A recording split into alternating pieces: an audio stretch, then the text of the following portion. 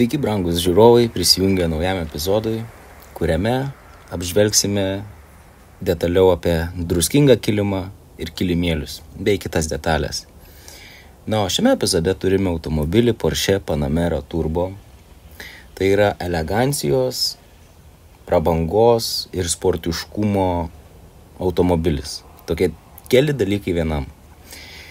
Na, varikliukas yra 4 litrų, jeigu kam įdomu, padaro ten tipo per 3,6 sekundės ten iki 100 įsibėgėjai, taip toliau, bet žinot, čia tik detalės, bet ši laida ne apie tas detalės, o apie detailingą. Detailingo valomas detalės. Jūsų akivaizdoje matote sausą dulkių valymą, kas iš tikrųjų yra labai svarbu. Dabar įsivaizduokit paprasčiausią variantą, jeigu aš pradėčiau iš karto tą kilimėlį, aš prasirbiau ir pradedu plauti, neišdaužęs gerai dulkių, kurių, kaip matot, yra dar gausiai. Tos dulkės susivelia ir tada sunkiai skalaujas, skalaujas, skalaujas ir būna, kad išdžiūvusias kilimėlis dar nėra toks švarus, kaip norėtumėm. Tada aš asmeniškai tai pasiemu dar su geru pagaliu išdaužau tas dulkes arba su vibratoriu, kaip kad matėt kadre. Toliau jau belieka plovimas, kurį pamatysite toj netrukus. Dabar demonstruoju guminių kilimėlių valymą, tai yra užpurš chemijos, su šepetėliu įtrinį kampus pakampius, tada didelį paviršių su suktuku, kad mažiau reikėtų naudoti ranko energijos. Nu ir tada su vandenuku aš dar praskėdžiu tą chemiją, kad jinai lengviau pasišalintų, neliktų jos pėtsako. Nes chemija, nu jinai yra chemija, jinai padaro savo vaidmenį, bet jos palikti ant paviršiaus valomosios chemijos nerekomenduoju. Ir vat, pristringa visokių akmenukų, kurios taip pat tenka pakrapštyti, atidžiau pažiūrėti. Tai vat, šiame epizode ir mes pamatysime, kuo skiriasi detailingas nuo cheminio valymo. Susipažinkit. Štai kas yra detailingas. Būtent šį video pažiūrėjus suprasite, iš ko susideda detalus salono valymas. Nes Lietuvoje yra suplakta cheminis valymas su detailingu ir jau klientai nebesupranta, kas kur nuo ko skiriasi. Tai mano misija viena iš misijų ir buvo tik tokia tų video keliumų, kad parodyti, iš ko susideda detailingas, kas tai per amatas yra ir kaip tai atrodo. Tai po valymo guminį kilimėlį padengiu keraminę dangą, kad tas purvas mažiau kiptų, kilimėlis ilgesnį laiką išliktų švarus ir lengviau nusivalytų, kad ir kas ten prikiptų. Įsijungiu garų aparatą, boileris šyla, sušylęs boileriukas leidžia man pradėti darbus su tekstilė. Užsipumpuoju vandenuką, kuris yra distiliuotas, distiliuotas, na, jis yra minkštesnis. Jis geriau kažkaip man tą tekstilę pašiaušia, išvalo. Jis toks kitoks. Aš nežinau, nesu labai chemikas, kad paaiškinčiau, kodėl distiliuotas geriau, bet jis juntamas kažkaip kitaip. Kietesnis vanduo, jis stangrina labai plauką. O aš ir noriu, suprantat, būna tokių dalykų, kad atrodo išplauni kilimėlį, išskalauji viską padarai kaip pridera, išdžiūna, kietas plauks pasidaro, atrodo, kad, žinai, net prieš tai tas plauks buvo minkštesnis. Tai aš va to ir vengiu to plauko kietumo ir va su distiliuotu vandeniu jo būna, geresni būna rezultatai. Tai va garų aparačiukas, kuris yra superinis, jeigu nematė dar šio aparato apžvalgos, yra mano video bibliotekoje YouTube'e. Ir uh, iš pradžių pradirbu audinį į vieną pusę traukimu ir užleidžiu pusę įtraukimo angos, kaip pjaučiau žoliapjėvę vėją, kad dar geresnis būtų rezultatas, toks pakartotinas prabraukimas. O čia šitie garai yra ne vien garai, bet to pačiu ir purškia tokia dulksna drėgmės šil, šilto, šilto, šilto vandens. Ir to pasiekoje kilimėlis išdžiūna daug greičiau, numygom iš karto išdžiūna ten per valandą dvi, kai karštų būdo garais išskalaujam audinį.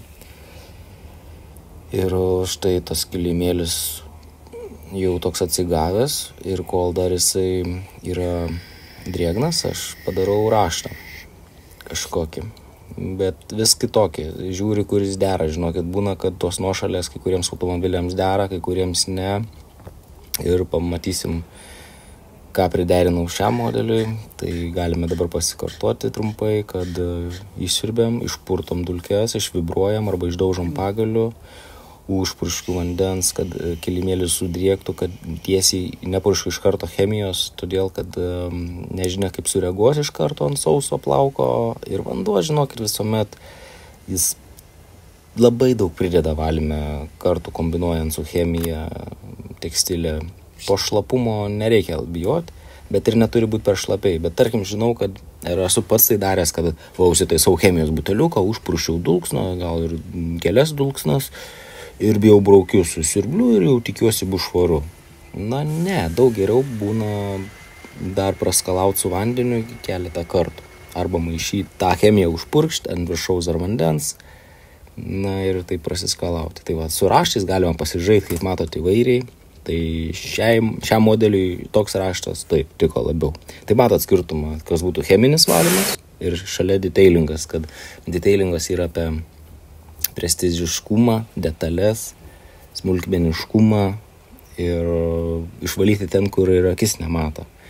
Tarkim, ne visuomet atkreipia dėmesį klientas į stoikės, o stoikės, mano manimu, detailingė labai yra svarbu. Cheminio valymo darbuotojai stoikės retai valo ir jiems nebūtina valyti, jie išvalo audinį, kilimėlius, sėdynės, plastikus, dulkės, na, padaro bendrą švarą. O detailingas jau yra apie automobilio prekinės išvaizdos atkūrimą. Todėl stojkės gumos tarpai tarpukai įtin svarbus. Tai tam pasitelkiu garus, kol yra boileris dar įkaitęs, karštas, kad nejunginėt aparato, nenaudot elektros be reikalo ir pasinaudoju, kol, nu, at išploviau kilimėlius, padėjau juos džiūti ir boileris dar šiltas. Einam prie tarpų, tarpelių ir gumų galiu aš drąsiai daryti tokį veiksmą. Čia toks kaip šachmatų lentuoje žiūri, kad, aha, nes vis tiek boileris šyla, ten tų garų aparatų neprijunginėsi pastoviai, gaišta laikas. Jeigu kyla klausimas, ar būtinas yra daiktas tas garų aparatas, jie tikrai brangiai kainuoja, tie geri profesionalus, tokie kaip pas mane rankoje, sakyčiau, kad ne, nebūtinas, galima įsisukti be jo, drąsiai dirbti be jo, bet jį turint tikrai, tikrai galima pasiekti gerų rezultatų. Bet tikrai nesunkiai galima ir sugadinti kai ką. Tad reikia gebėti su garais dirbti. Tai va po kiekvieno to tokio garo prabėgimo prasipučiu su kompresoriu, išsidžiovinu, įsijėmu plasmasės, kurios, kaip matot, kažkokiai baltai, keistai pabalusios. Ir iš pradžių išgazdino mane tai, galvojau, kaip, kad neįsiplauna, neįsivalo, pabandžius vienu, antru, trečiu būdu. Kaip visuomet, nu, pirmas iš karto valymas su šepetuku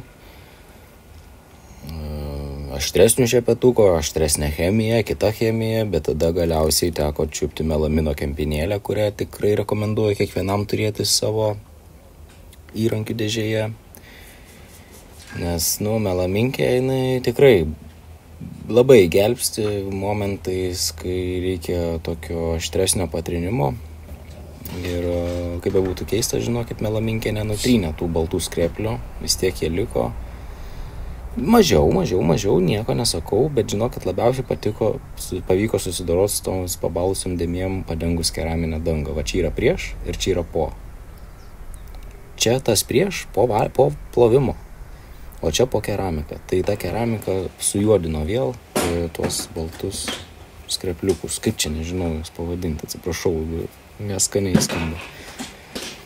Tai va, čia Budaniuks mano, vienas iš pirmųjų legendinių lagaminų, žinokit, mano masažo karjera su juo prasidėjo 2015 metais, aš jau jį nuo 2015 turiu ir visą laiką jisai man įrankius nešioja. Tai dabar buvo prieš tai aliejai, pledai, taurės įvairios, žvakės ir smilkalai. Dabar laidai, pralgintuvai ir visokie kitokie įrankiai. Čia mano rankose matote ScanGrip šviestuvą, kurio gaila ScanGripas nebegamina ir prekyboje galima rasti tik kas kur užsilaikė sandėliuose, bet į prekybą jų nebeišleidžia, o šiaip labai geras daiktas, keista, kad jų nebėra prekyboje. Na ir kaipgi darbai detailingė be virdulio, ne, iš karto asocijuojasi su kava, pastiprinimu energijos, bet šiuo atveju naudosiu tiesiog karštą vandenį panaikinti kilime esančią druską. Iš pradžių įsisirbiu, žinoma, kas įmanoma,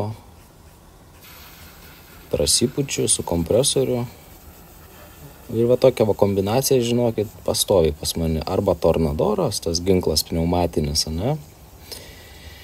Arba šitokia. Bet žinokit, tiek tą visą laiką naudoju. Su tornado prasieinu, tada ir su klasikiniu kompresorium pučiu ir traukiu.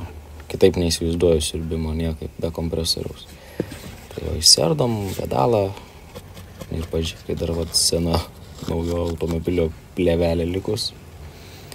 Ir druskų kiekis koks po pedalais tavo tarpuose, kampuose, kur čia jau išvalyt, žinokit, jeigu galvojat, kad reikėjo čia šauti su garais, ištirpinti, ne, niekaip, niekaip, niekaip garai, kai šauna, tirpina tą druską ir skleidžia po visą kilimą dar plačiau ir atrodytų dar klaikiau negu dabar yra.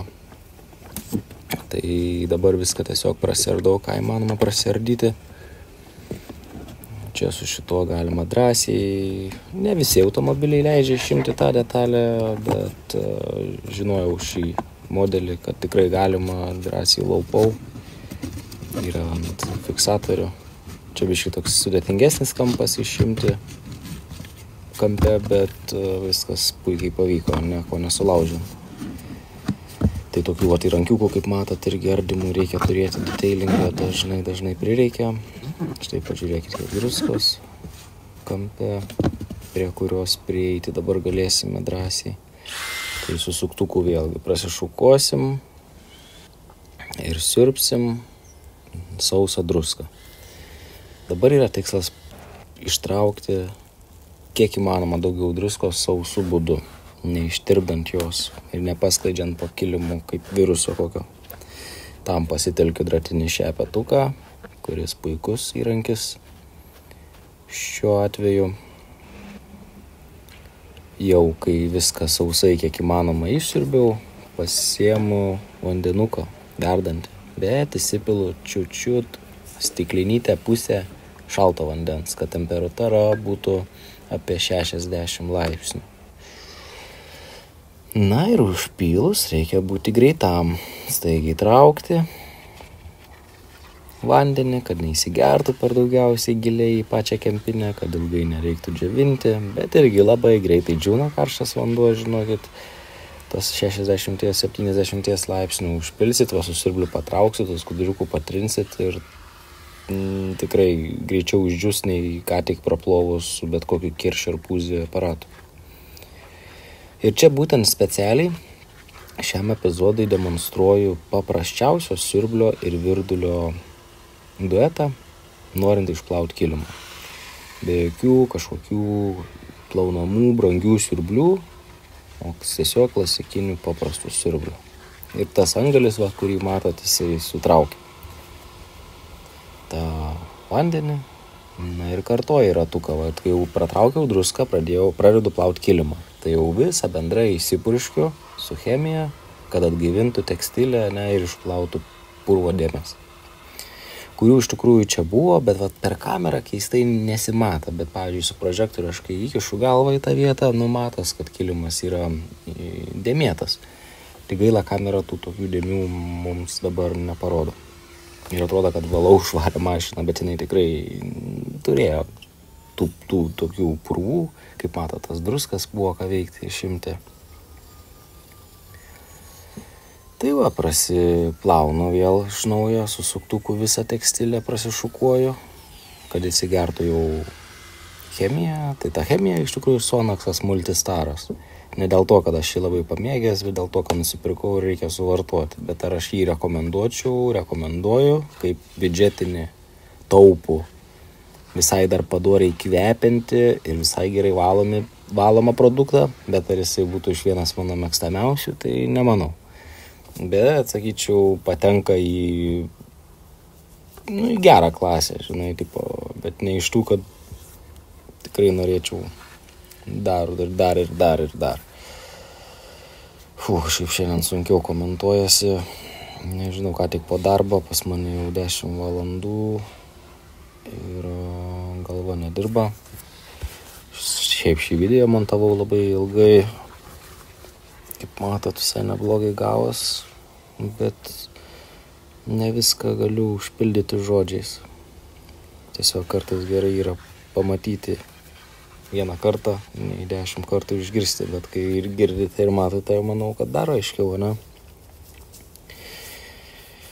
Ką dabar darau su ranka, čiupinėju ir bandau užčiuopti, kur druska neištirpo ir labai, žinokit, verta tai padaryti, nes jums atrodo, kad jūs va viską padarėt, išvalėt ir užčiuopsit grusbulėlius iš naujo ir vėl grįžkit prie tų druskingų grusbulėlių tirpinti.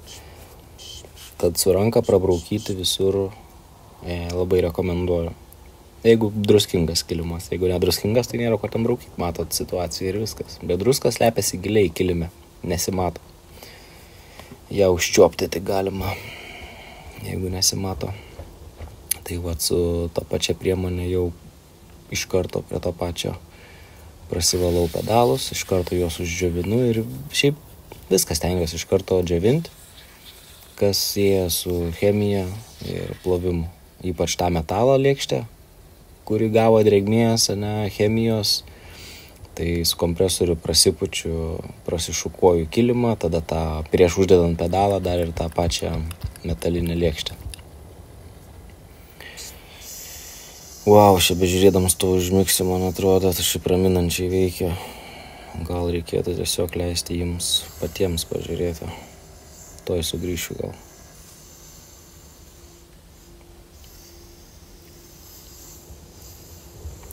Ai, nu tai dėl ko vanduo, tai skalauju chemiją, nes neturiu, turiu aš siurblių plovimo, bet specialiai dariau jums parodyti, kad nereikia. Arba galite užtenka turėti tokį specialų angalį, nusipirkti bet kokį ir užsidėti ant siurblio, kad trauktų ne va taip, kaip plaunamasis siurblys traukia per tą siaurą angą, kad labiau sutrauktų.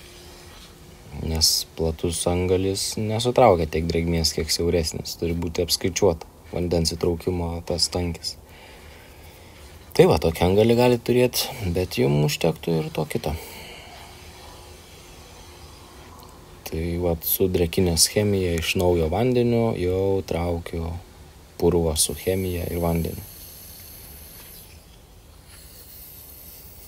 Po siurbimo iš karto sušluostę džiavinama irgi daug kas skipina šitą vietą nešluostos užšluostę o aš labai rekomenduoju nustebsit pamatysit kad dar ir užšluostė susipurvins ir daug daug greičiau išdžius kilimas bet kad dar greičiau išdžiūtų aš va taip va pažaidžiu su kompresoriu nes aš mėgstu kilimą atgaivinti iki naujo nu, jo būklės. Ta prasme kad iššukuoji. Kompresorius dar pašukuoja kaip matot tą plauką.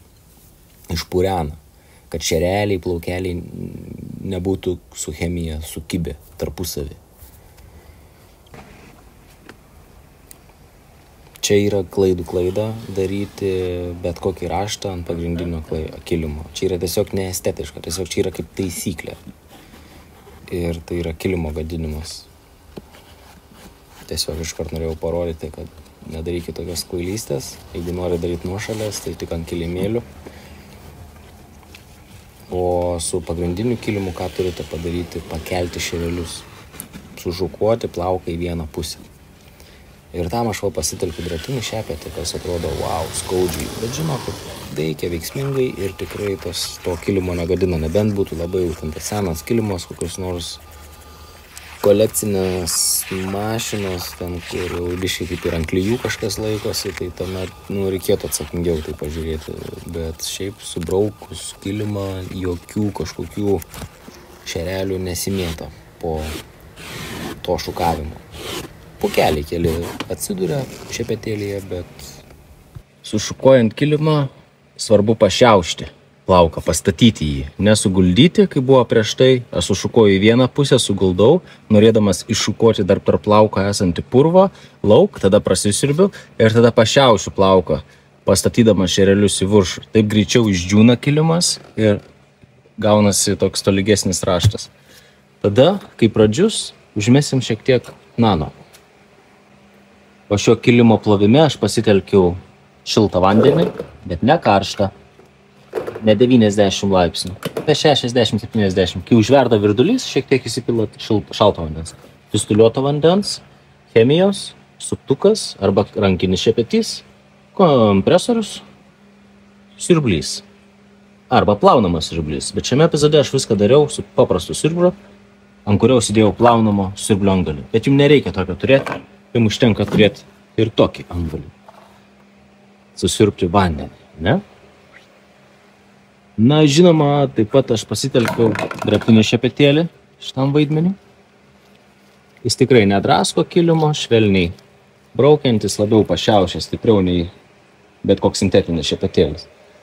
Dirbtinis šepetėlis apskritai detailingai gan reikalingas daiktas, pasakyčiau. Ne visi turi, bet rekomenduoju turėti.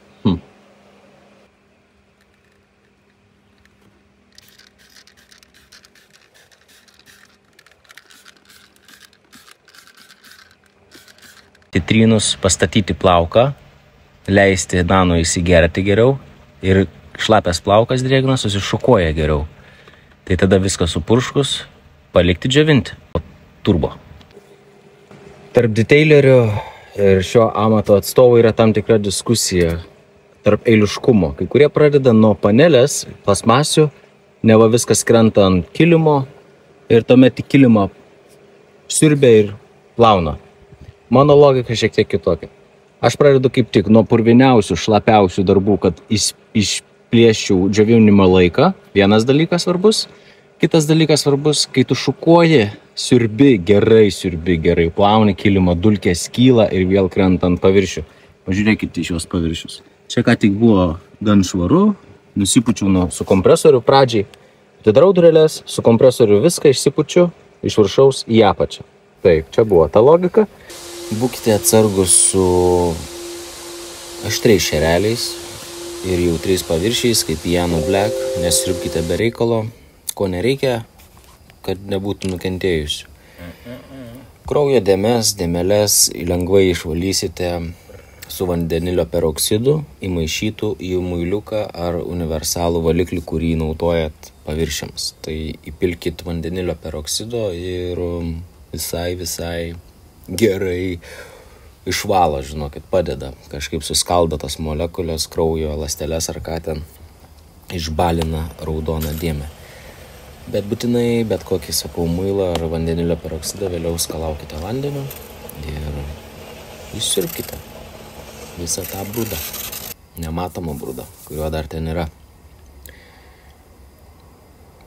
Na ir vėl sušukuokit kilimą, padarykit jį kaip naują, padorų, gražų, pastatykit,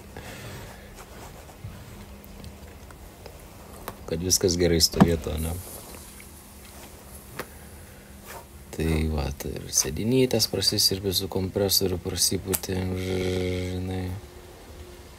Čia įkėliau už tą momentą iš pradinių siurbimų, bet kažkaip į pabaigą įkėliau prisiminęs, norėdamas parodyti, kaip aš sėdžiu. Aš atsisėdu dažniausiai ant slengščio, ne ant sėdynės. Visą laiką padedu pusę šiknos ant slengščio ir tuomet pasiekiu tikrai daug viską. Vat, lubas, švelniai su šepetėliu galima prasiurbti, tikrai nepakenksim. O čia labai svarbus veiksmas iš tikrųjų užsidengti su dideliu ranšluoščiu bumperį, kad išvengtumėm įbrėžimų su siurblio šlanga ir taip galėtumėm labiau atsiduoti darbui, atsipalaiduoti siurbiant, ne, nereikia ten tarp kojų laikyto šlangos, žiūrėk, nesužiūrėsi ten kažką ir nieko nėra blogiau, kai bandydamas padėti žmogui ir padarai blogiau. Tokių situacijų ir aš turėjau, kai esu ir, ne, ir mašiną ne vieną biški pakrikštyjas. Bet apie tai gal kitose epizoduose, tai atrandi kažkokių detalių.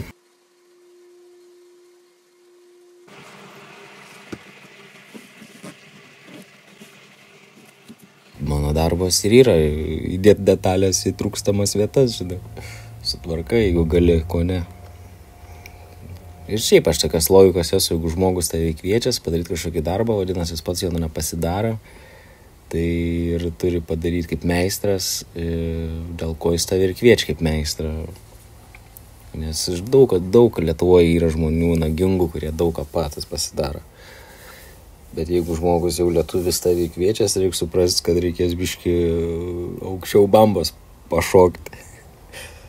Mini, mini remončiuką, kokį padarai, nustebini klientą, tai irgi būna patenkintas.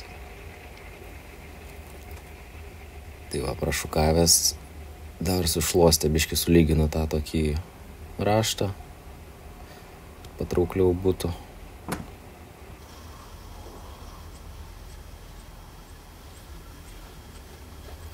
Galima šukuoti ir kietų sintetinių šepečių, kaip šis dabar mano rankose. Šiek tiek padrekinu, kad geriau susišukuoja, tiesiog plaukas tada geriau laikosi. Po plovimo bagažinę dar pasidrekinu ir susišukuoju, padarau vienodą, vienodą raštą į vieną pusę. Ir va tokios detalės kaip plaukas užšukavimas į vienodą pusę duoda labai stiprų įvaizdį detailingą. Nesvarbu, kad ten švaru, bet turi būti ir estetiškai gražu. Nu, detailingas apie tai yra, apie tą estetinį automobilio remontą, pavadinkim.